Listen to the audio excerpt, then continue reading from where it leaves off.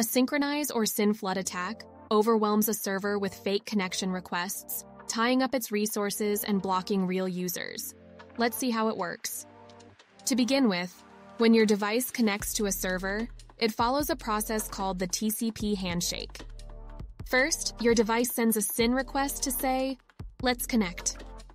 The server responds with a synchronized acknowledgement saying, Connection approved. Finally, your device sends an acknowledgement to complete the handshake and establish the connection. In a SYN flood attack, the attacker sends a flood of SYN requests, but never completes the handshake by sending the final acknowledgement. The server is left waiting, unable to process real requests. With each fake request, the server's resources get drained and legitimate users are blocked, causing a denial of service. SYN attacks can take different forms. Direct attack uses the attacker's own IP, easier to detect.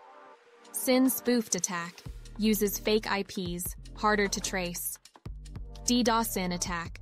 A botnet sends requests from many devices, overwhelming the server with massive traffic. A SYN flood attack isn't just disruptive. It's a crippling denial of service, blocking access to real users and straining server resources. For more insights on website and API security fundamentals, subscribe to our newsletter in the link below.